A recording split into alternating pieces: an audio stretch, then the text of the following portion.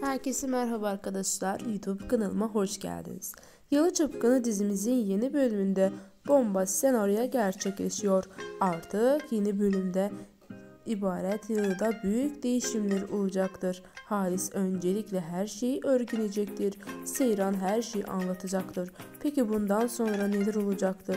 Videomuza geçmeden önce Yalı Çapkını dizimizin analiz videolarını kaçırmamak için kanalımıza abone olmayı unutmayın.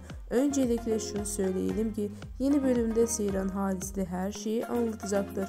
Halis bunları anlamaktan sonra Seyran'la Ferit'e boşanma oyunu yapmasını emredecektir. Seyran'a Ferit'e boşanmak istediğini söyle onun gözünü korkut diyecektir arkadaşlar. Videomuzun sonuna geldik. Hoşçakalın.